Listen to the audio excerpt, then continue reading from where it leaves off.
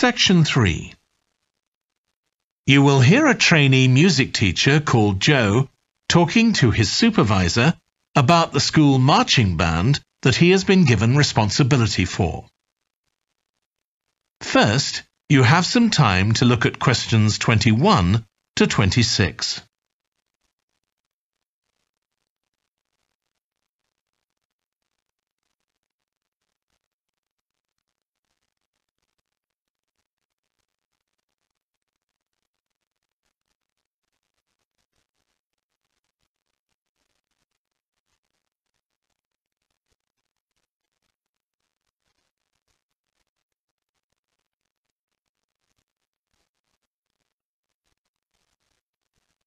Now listen carefully and answer questions 21 to 26. So, how are you getting on with your teaching practice at the high school, Joe? Well, I've been put in charge of the school marching band, and it's quite a responsibility. I'd like to talk it over with you. Go ahead. You better start by giving me a bit of background. Okay. Well, the band has students in it from all years. So they're aged 11 to 18, and there are about 50 of them altogether. It's quite a popular activity within the school. I've never worked with a band of more than 20 before, and this is very different. I can imagine. They aren't really good enough to enter national band competitions, but they're in a regional one later in the term. Even if they don't win, and I don't expect them to. Hopefully, it'll be an incentive for them to try and improve. Yes, hopefully. Well, now the town council's organizing a carnival in the summer, and the band has been asked to perform. If you ask me, they aren't really up to it yet, and I need to get them functioning better as a band, and in a very short time. Have you been doing anything with them? Apart from practicing the music, I mean.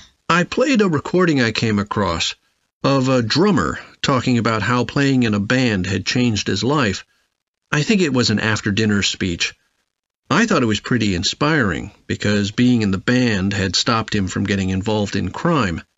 The students seemed to find it interesting too. That's good. I'm planning to show them that old film from the 1940s, Strike Up the Band, and talk about it with the students. What do you think?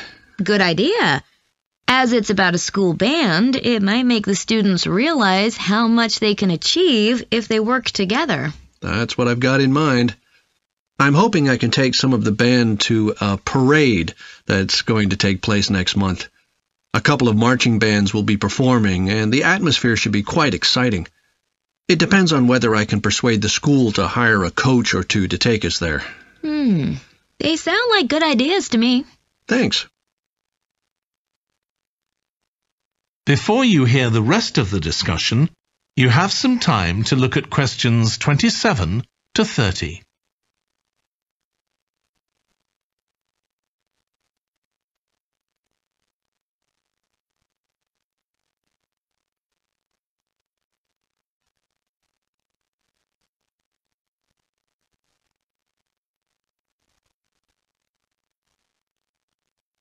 Now listen and answer questions 27 to 30. Can I tell you about a few people in the band who I'm finding it quite difficult to cope with? I'm sure you'll have some ideas about what I can do. Go ahead. There's a flautist who says she loves playing in the band.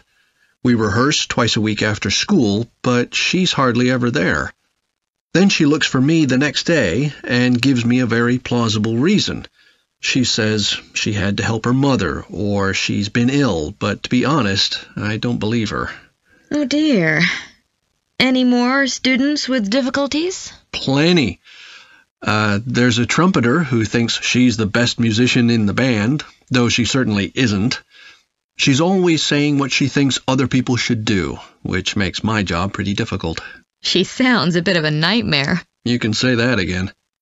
Uh, one of the trombonists has got an impressive sense of rhythm and could be an excellent musician, except that he has breathing difficulties, and he doesn't really have enough breath for the trombone.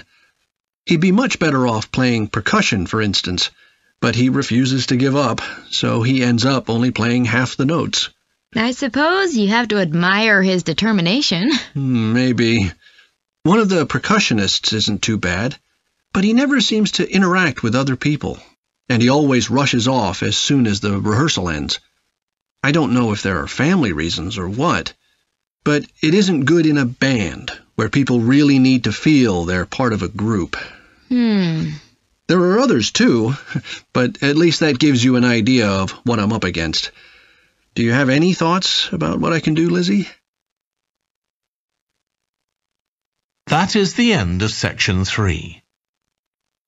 You now have half a minute to check your answers.